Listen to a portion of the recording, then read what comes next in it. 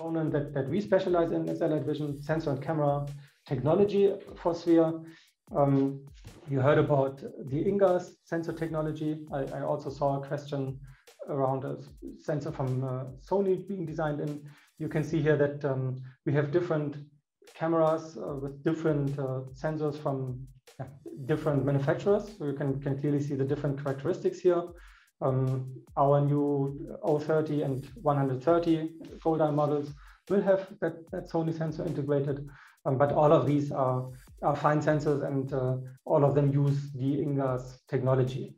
Um, what all of them have in common is also that they are still somewhat at the leading edge of technology. So there are some things you, you have to deal with uh, as compared to standard visible range cameras. There's higher dark current, there are non-uniformities, Sebastian and Klaus also mentioned some of those. So you may want to look for enhanced image correction and possibly tech, thermoelectric cooling in your camera. Um, so this is um, just an example to show you what kind of defects that can occur. You have these blurring lines, that's the non-uniformities. You have incorrect bond connections, defective pixels. Of course, none of these you want to have in in your application and, in the data stream coming out of your camera. So uh, what we do at Allied Vision is several steps to improve the, um, the camera picture quality. Um, if you take the standard picture with a sensor out of the box, would look like this.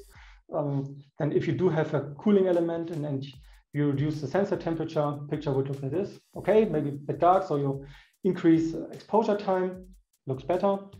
Um, then you apply some intelligence and uh, reduce the uh, non, uh, non you apply a non-uniformity correction. so it looks like that, much better. And then even further, you can remove some defective, some defect pixels. Um, and that's really what looks to me a close to perfect picture. So there's really a lot of things that can be done inside the camera to improve the picture.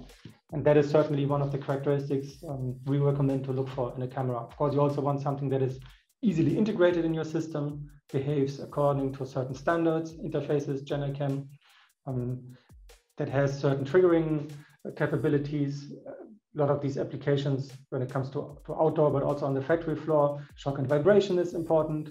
Um, if you are designing an array of systems, different choices of sensors and interfaces may be a good idea. Warranty, these are typically rather expensive pieces of technology. Um, yeah, so we want to make sure you, uh, you take an excellent pick there.